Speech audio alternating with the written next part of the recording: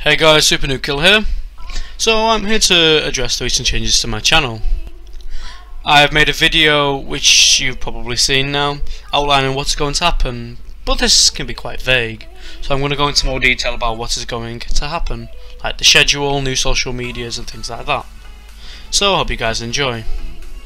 Right, first up, let's talk about what's going to happen with PC. I'm going to do reviews, tutorials and gameplays like I do on PS4 and I will do live streams on Twitch so please follow at twitch.tv forward slash supernukekiller.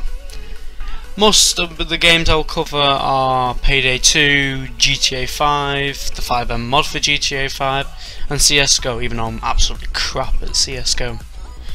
This does not mean I am sticking to these games, there'd be like viewer's choice and all that.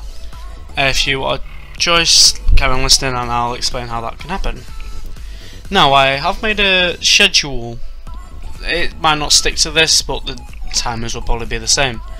So the schedule is going to be a Payday 2 video on Wednesday, a GTA 5 or FiveM video on the Friday, a PS4 video on the Saturday, and a live stream on the Sunday. The live stream will be viewer's choice, and I will put up a poll on my Twitter at SuperNukeKiller.